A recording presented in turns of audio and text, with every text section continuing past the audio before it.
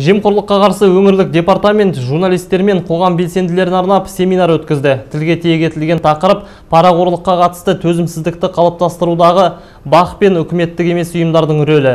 Шараға онлайн режимде жүзге жуық адам қатысты. Сарапшылардың сөзінше, қазір Қазақстанда ашық бюджеттер принципі ендіріліп жатыр. Ал биыл жемқорлыққа қарсы заңнама қатаңдатылды. Алайда бармақ басты көзқыстылықпен күресте бұл жеткіліксіз. Антикор өкілдері телеарналар баспасөз бен жаңа медиа өкілдері ақпараттық жұмысқа қарқын қосулары қажет деп санайды.